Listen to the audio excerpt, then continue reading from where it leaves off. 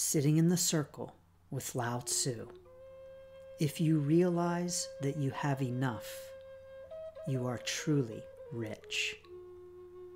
If you realize that you have enough, you are truly rich.